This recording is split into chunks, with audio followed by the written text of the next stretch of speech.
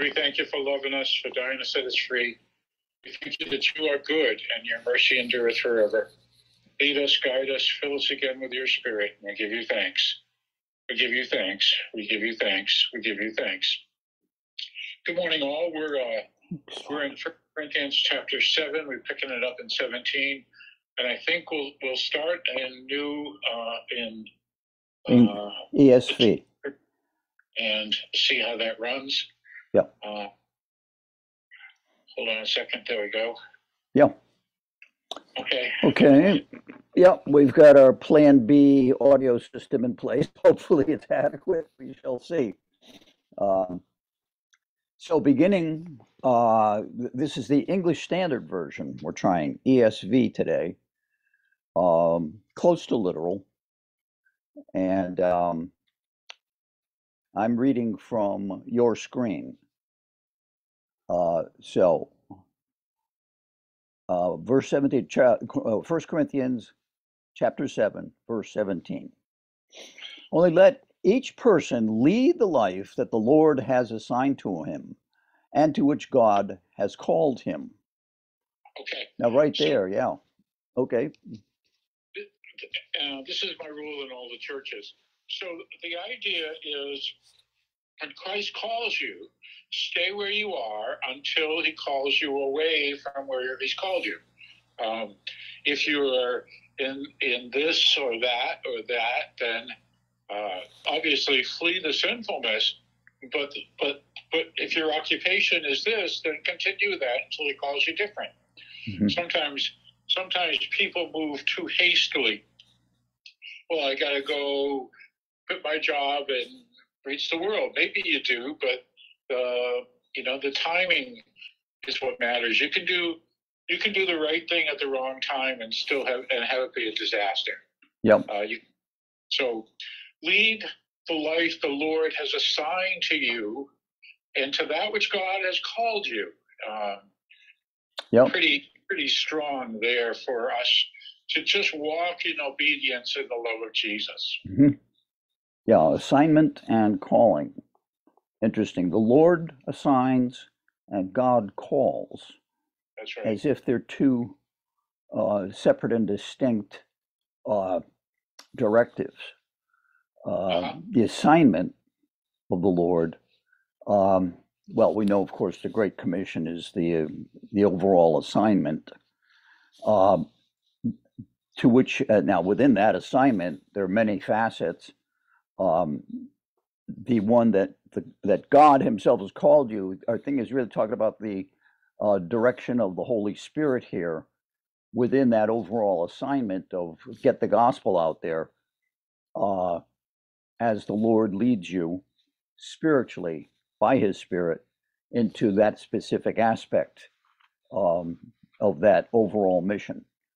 That's right. I mean, that's the way I'm reading it, but you know, perhaps there are, are other um, interpretations. That's right.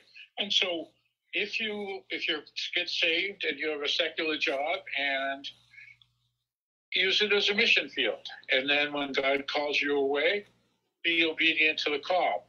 Mm-hmm. Um, the the answer to the question is God send me anywhere you want, as long as you don't have a caveat on that. Uh, you know, Lord, don't send me to Hawaii or whatever. Um, you can't have a caveat because God knows best and you don't, but He's willing to reveal it. Mm-hmm.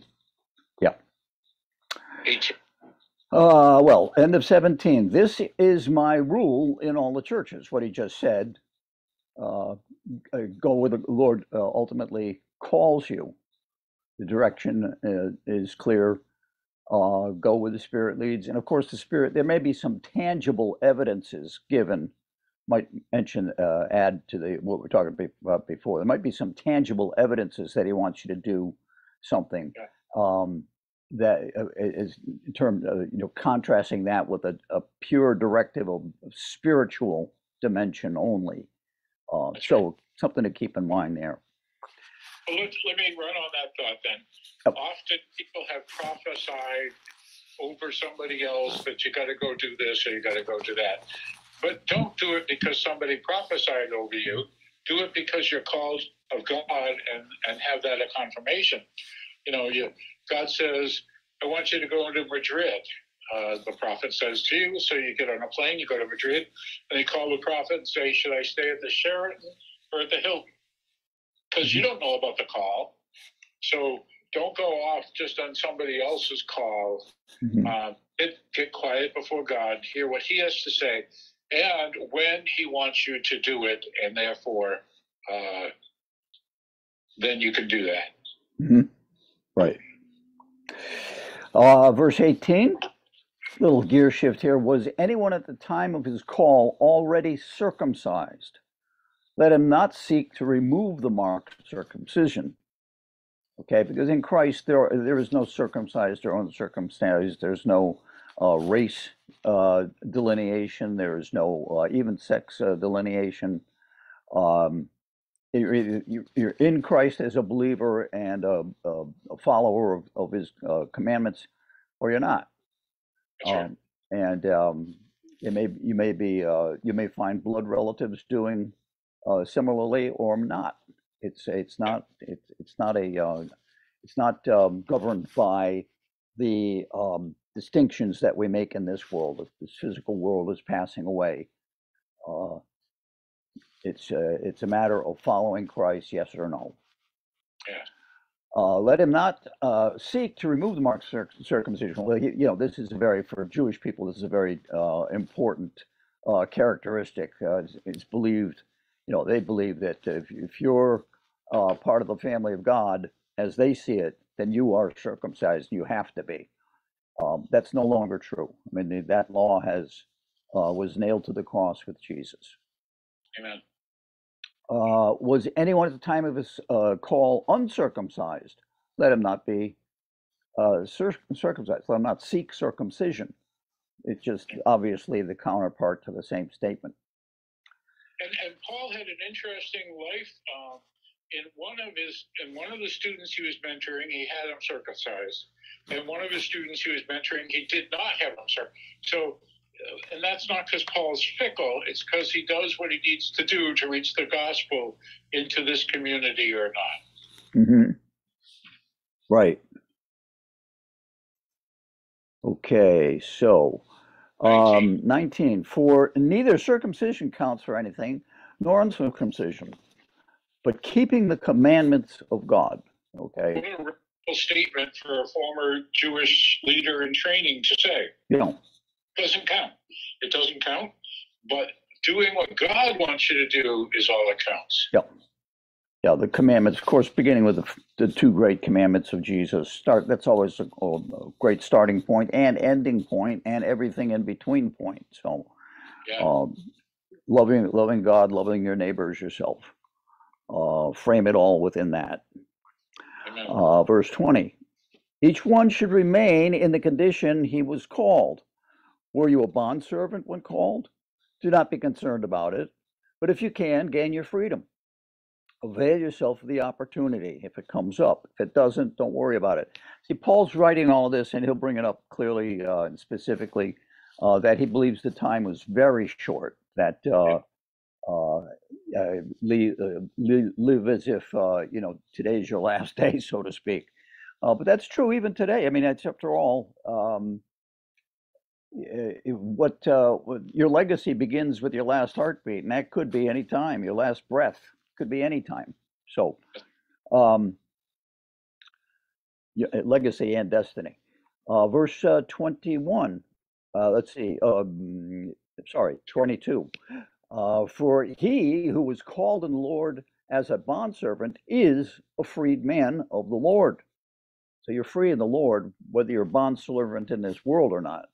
For he who was called of the Lord, uh, likewise, he who was uh, free when called is a bondservant of Christ.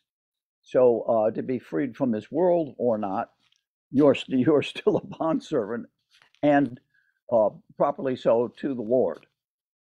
Um, you were uh, bought with a price. Jesus bought us with his blood. Do not become bondservants of men. So, brothers, in whatever condition each was called, and here he's, he's talking about uh, freedom versus slavery here, um, let, there, let him remain uh, with God. That's the thing.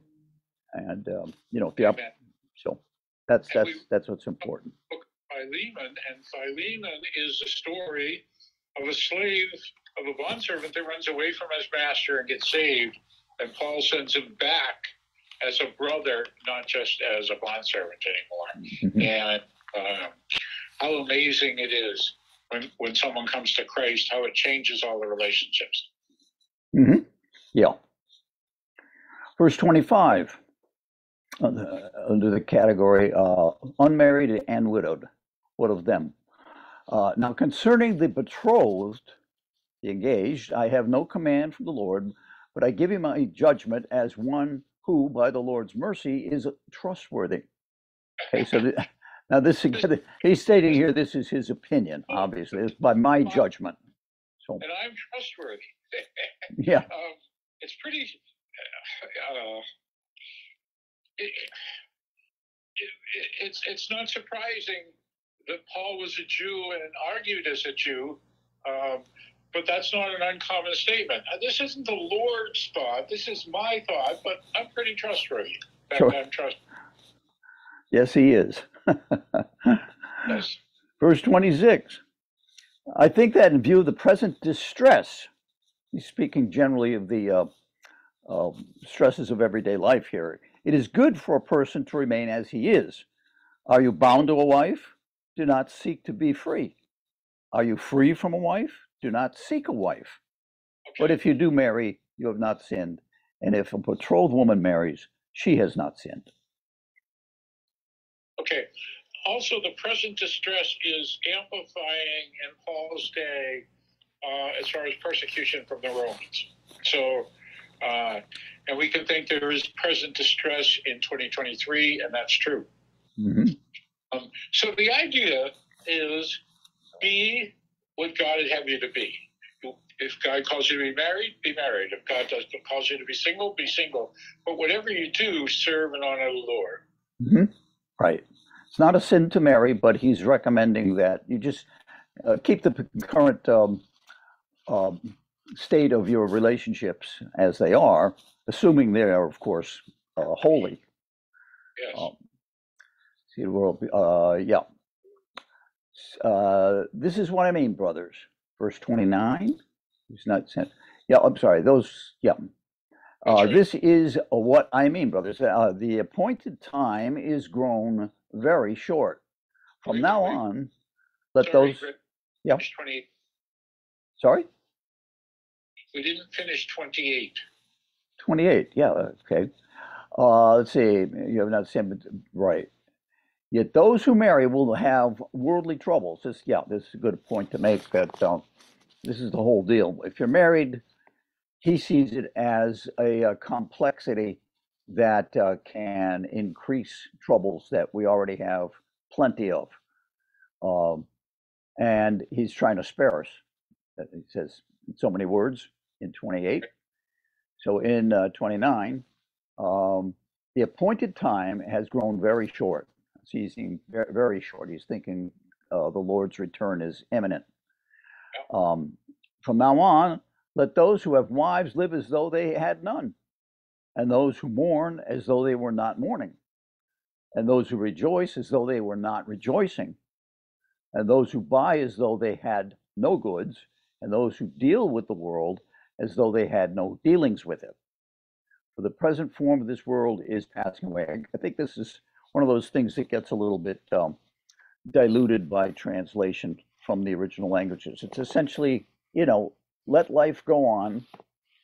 Um, again, if, as long as it's it's not uh, transgressing uh, the word, the laws of God, uh, let it continue. Do, do, don't give it um, the priority that you might give it if you think you're going to be around to a ripe old age where you might uh, be planning for future life. Uh, if, if from his point of view, he just doesn't think it's it's there, so that um, things are going to wind up here faster than you know, and you don't need to be caught up in things of the world uh, with um, eternity knocking at the door. Right. For, for this, yeah. And only joys through it. The present, yeah, last sentence, for the present form of this world is passing away. And scroll, scroll, scroll. Verse 32. I want you to be free from anxieties. The unmarried man is anxious about the things of the Lord, how to please the Lord. But the married man is anxious about worldly things, how to please his wife. Happy wife, happy life. And his interests are divided. The unmarried or betrothed woman is anxious about the things of the Lord, how to be holy in bond and spirit. But the married woman is anxious about worldly things, i.e., how to please her husband. I say this for your own benefit, not to lay any restraint upon you, but to promote good order and to secure your undivided devotion to the Lord. That should be priority. Yes. Always. Well,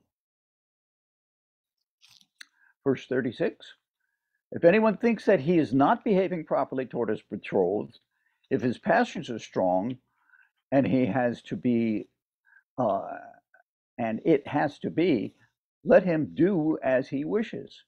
Let them marry. It is no sin. But whoever is firmly established in his heart, being under no necessity, but having his desire under control, and is determined in his heart to keep her as his, mm, well, my sorry, my computer's not scrolling cooperatively here. Uh, let's see. So um, keep her as his betrothed, he will do well. So then, he who marries his he who marries his betrothed does well, and he who refrains from marriage will do even better. Again, Paul's opinion. Okay, so keep that in mind. Verse 39.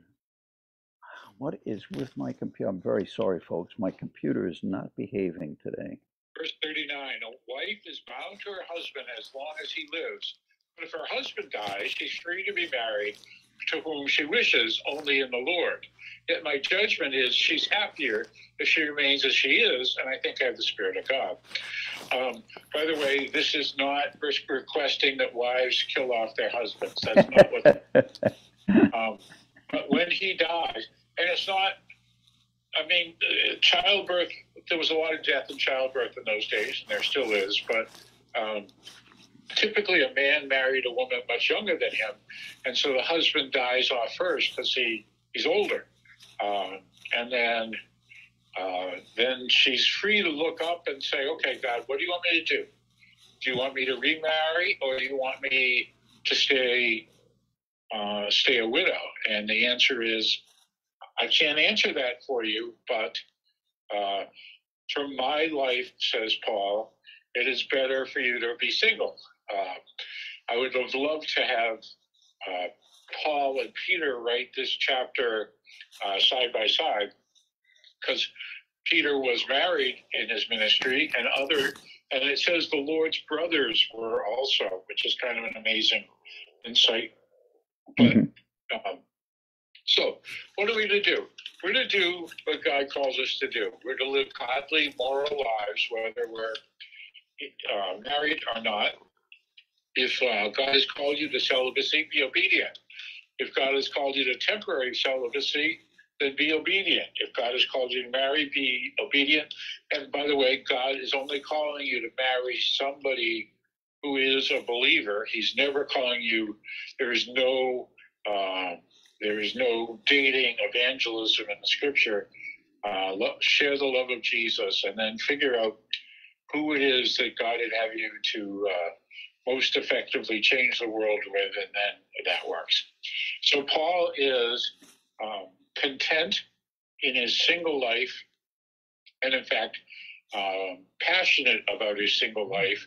He is called to be not married, and uh, but he understands that some people aren't as uh, uh, some people don't have that gift, and therefore go ahead and get married uh, to the one that God has had you to marry mm-hmm. kind of, uh, uh, and you can just imagine that in Corinth, they're thinking, okay, I got one wife at home, but you know, there's a temple prostitute, there's this person, and there's there's this other married person, and and no, don't live like the world lives, but live as Christ would have you to live. Right. Amen. Amen. Lord, we thank you for the power of your word. We thank you that you that you have a plan for our lives, and we need to earnestly seek you. Uh, transform me so I can make a difference in a desperate and dying world. We give you thanks. We give you thanks. We give you thanks in Christ's name. Amen. Amen. Yes, Lord, thank you again for your word, your spirit, uh, and the direction that uh, you afford us here. Uh, help us stay the straight and narrow according to your calling, uh, your direction. Uh, that's all that's important. It's really uh, the, the thing that we need to focus on and stick with. And we pray for your continued uh, direction that we might live lives that glorify you in Yeshua's name. Amen. Amen. Amen. Good day, all. Bye bye. Have a good one.